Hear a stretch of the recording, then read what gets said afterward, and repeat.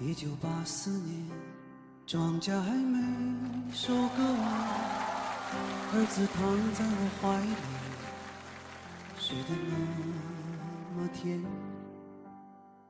今晚的露天电影没时间去看，妻子提醒我修修缝纫机的踏板。明天我要去邻居家再借点钱。孩子哭了一整天呐、闹着要吃饼干。蓝色的迪卡上衣通往心里钻，蹲在池塘边上狠狠给了自己两拳。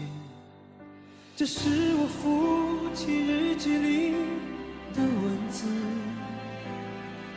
这是他的青春留下留下来的散文诗。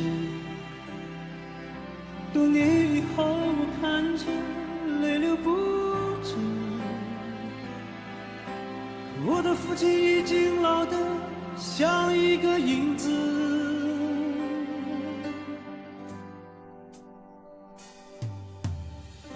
一九九四年，庄稼早已收割完，我的老母亲去年离开了人间。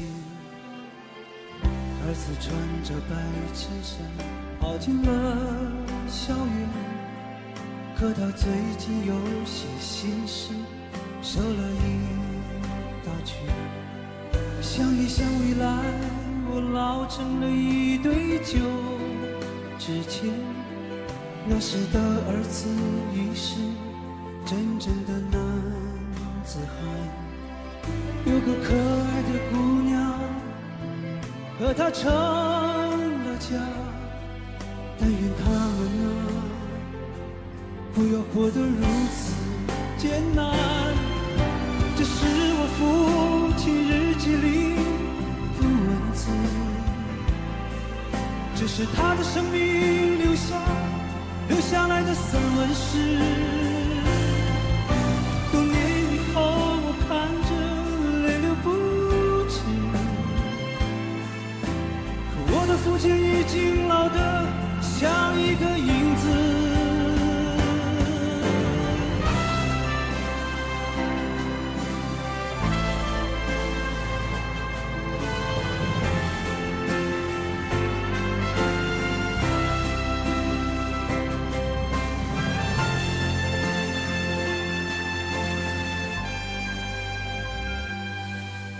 这是我父亲日记里的文字，这是他的生命留下留下来的散文诗。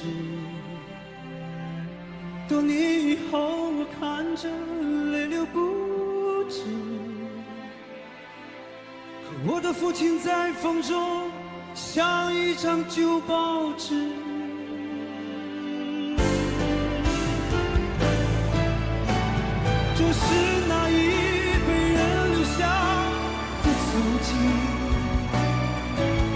可几场风雨后，就要抹去了痕迹。